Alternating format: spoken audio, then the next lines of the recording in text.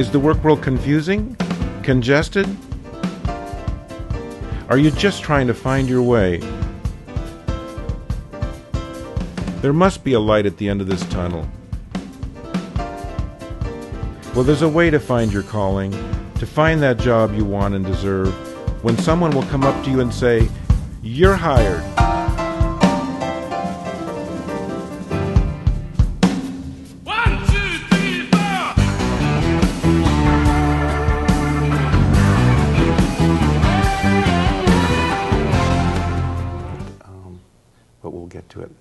Few seconds. All right. It's just about. Uh... Hi, I'm Steve Piazzale, a career and life coach, and welcome to You're Hired, a show about jobs and careers in which we answer questions such as How do I find work that makes me come alive? How do I get that job I want and deserve? How do I find out about careers in different fields like medicine, architecture, franchising? Well, we're going to answer those questions and many more by having on the show knowledgeable, lively guests, and we certainly have one today. Before I introduce her, though, I'd like to invite you to check out my website where we've added the 12 keys to getting a great job. You can actually now access many of the episodes of the show via YouTube on the website, and then also find out about the career coaching I do. Essentially, what I do is work with people one on one to help them get unstuck and build momentum towards achieving their goals faster than they would on their own, saving time, money, and a lot of stress. To find out about all that and much more, please go to www.bayareacareercoach.com. Again, it's www.bayareacareercoach.com.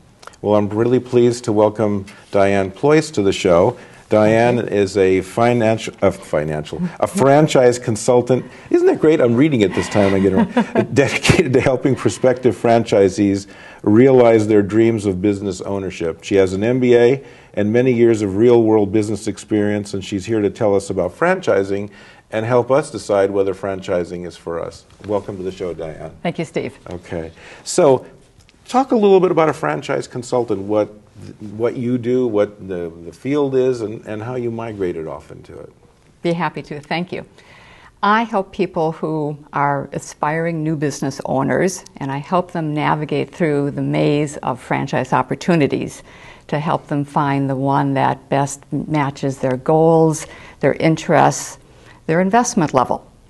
It, if you do it alone, it can really be overwhelming, and no one business is right for everyone. Mm-hmm. so I got into it because I saw a real need. I was working for a franchise company and I realized how many uninformed people there were. And I thought if I can work with them and help educate them of what to look for in a business, then they can make a, a sound business decision whether or not franchising is right for them and whether or not that business is right for them. Mm-hmm. So I've been doing this since 2004. It's enormously gratifying. Mm-hmm. I love to help people launch them in their business, so that's is quite exciting. That sounds, it sounds fantastic. It sounds like you've really found a niche for yourself, and just like we've had on the show where people have gone from one field to another, you, except it's related, right? I'm sure your MBA and business experience must inform it, must help you, right? It does. It, I work with a lot of downsized execs, so I can relate well with them. And when I worked for a franchise company, I was involved in marketing, in training, and in operations. So that expertise certainly transfers over, and I can speak from authority. I have 10 years of franchise experience before I became a consultant. Oh, that's fantastic. Okay, so um, everybody knows that McDonald's and Jack in the Box are franchises, but what are franchises and what's the whole gamut of them? Inform us. Sure. Franchising is really just a business model. Companies use it because they want to grow faster and they want to do it less expensively. So a franchisee pays a franchise fee and ongoing royalties to a franchisor in return for the rights to use the name, the trademarks, the operating system, and more. People who get into a franchise you know, want that sound system. They want to know that they've got a proven track record and that they can check and investigate it beforehand. So that's um, certainly very important.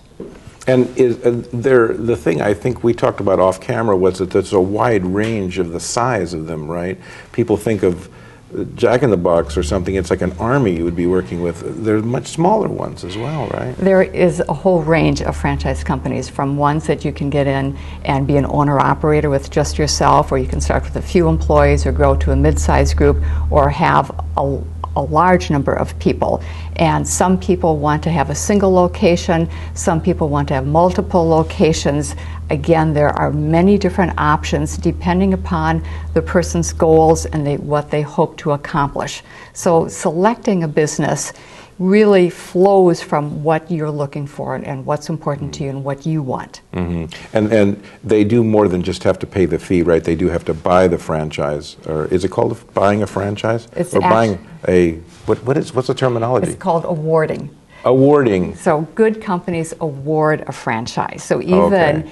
If you have a check and you want to buy a franchise, if you don't have the skills, if you can't follow the system, they will not award you a franchise. So that's how good companies. Are. So you're awarded a franchise, but you pay f- to have that franchise, and then you pay a monthly fee, um, part of the profits, as it were. Correct. You might look at it in that the franchise company has made all the mistakes, so to speak. they've gone the ro- down the road and they've figured things out.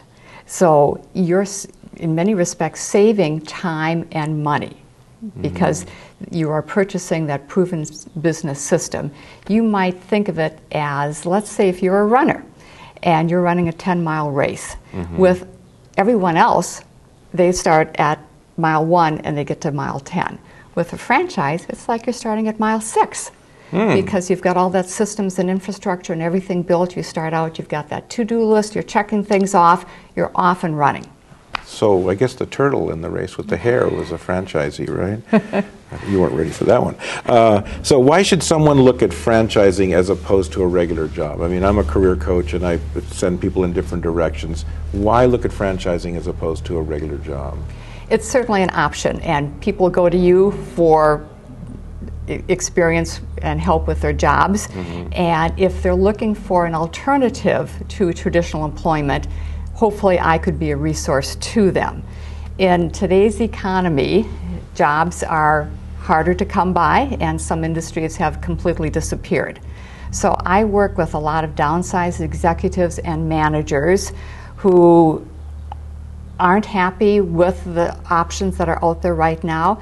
And some just say, you know what?